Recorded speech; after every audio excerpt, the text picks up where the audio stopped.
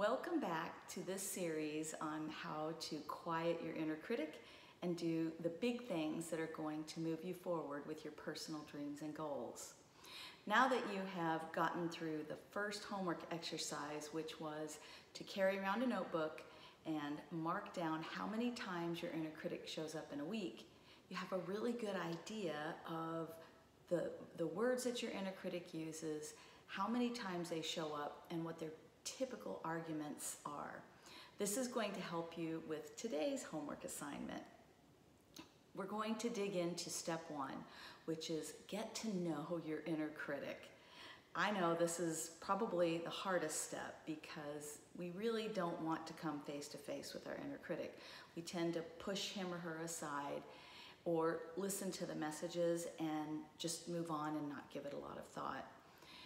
For step one, I want you to really dig deep this week and pay really close attention to when your inner critic shows up. It's typically going to be when you're doing something big and exciting or taking a small step that's really outside of your comfort zone. So get out your notebook, journaling really helps with this, and write down the, the occasions, the events where your inner critic tends to show up.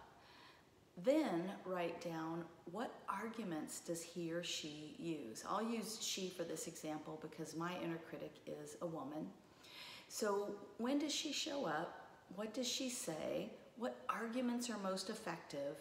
And start to get a sense of how your inner critic shows up for you. Then I want you to list adjectives, five, six adjectives that describe your inner critic. Is she tricky? Is she sarcastic?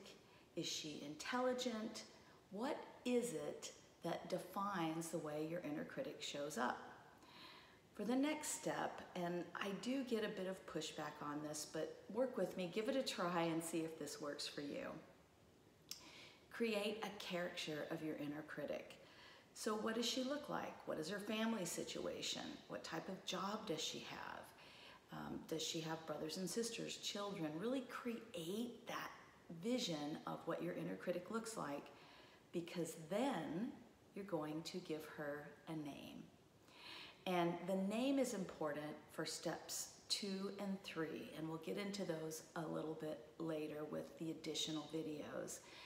The understanding your inner critic really helps you identify when your inner critic shows up and will help you to quiet her as you go through the rest of the series and you incorporate the three-step process into your life. For this week, spend a lot of time getting to know your inner critic, uh, cataloging and journaling about her, and then we will get into steps two and three in the next video series to help you quiet your inner critic and go do great things.